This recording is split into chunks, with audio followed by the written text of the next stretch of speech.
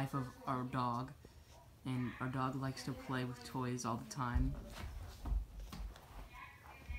She might look like she's aggressive right now, but she really isn't. Look how much she's tearing apart Hayden.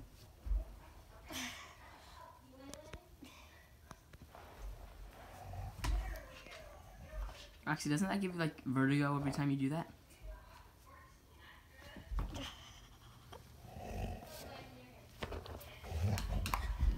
Jeez, sound like his head snapped or neck snapped.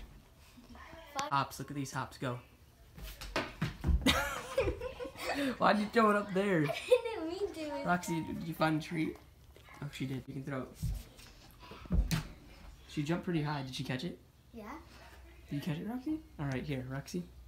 See this, Roxy? Oh no, oh no, aggressive dog. Catch it. Oh, pops for days. You to play catch, play like took a war with this thing with Roxy. So get her excited. Get her excited. Er, I guess she doesn't want to play with that thing.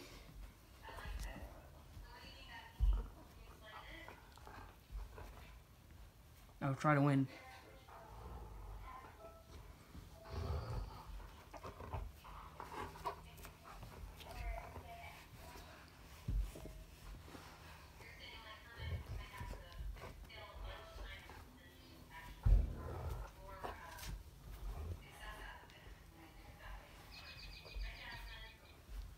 How you beat a dog in a 1v1 and um tug of war.